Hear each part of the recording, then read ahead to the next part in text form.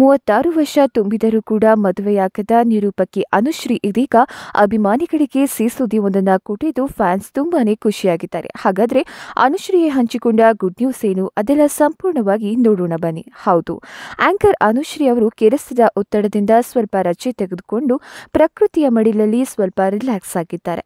ಅನುಶ್ರೀ ಅವರು ಸುಂದರವಾದ ಹಸಿರಿರುವ ಬೆಟ್ಟಗಳ ಮಧ್ಯೆ ಪ್ರಶಾಂತವಾದ ಸ್ಥಳಕ್ಕೆ ತಲುಪಿದ ನಟಿ ಪೋಸ್ ಕೊಟ್ಟಿದ್ದು ಬ್ಲ್ಯಾಕ್ ಗಾಗಲ್ಸ್ ಧರಿಸಿ ಕ್ಯೂಟ್ ಆಗಿ ಕಾಣಿಸಿದ್ದಾರೆ.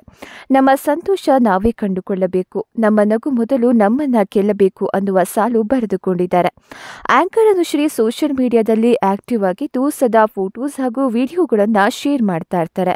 ಅನುಶ್ರೀ ಅವರು ಹಂಚಿಕೊಂಡ ಫೋಟೋಗೆ ಹಲವಾರು ಕಮೆಂಟ್ಗಳು ಬಂದಿದ್ದು, ಅಕ್ಕ, ನಿಮ್ಮ ಮದುವೆ ಯಾವಾಗ? ನಾವೆಲ್ಲ ಕಾಯ್ತಿದ್ದೇವೆ. ಅಂದಿದ್ದಾರೆ. ಅದಕ್ಕೆ ಉತ್ತರಿಸಿರುವ ಅನುಶ್ರೀ, ಮದುವೆ ಬಗ್ಗೆ ವರಿಬೇಡ. ಸದ್ಯಕ್ಕೆ ಜೀವನದ ಸಂತೋಷವನ್ನ ಅನುಭವಿಸೋಣ ಎಂದಿದ್ದಾರೆ.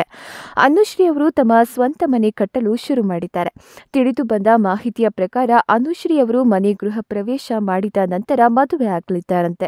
ಎರಡು ಸಾವಿರದ ಇಪ್ಪತ್ತ್ ಮೂರರ ಆಗಸ್ಟ್ ತಿಂಗಳಲ್ಲಿ ಅನುಶ್ರೀ ಎಂಗೇಜ್ ಆಗಲಿದ್ದಾರೆ ಎನ್ನುವ ಮಾತು ಸೋಷಿಯಲ್ ಮೀಡಿಯಾದಲ್ಲಿ ಕೇಳಿ ಬರ್ತಾ ಇದೆ.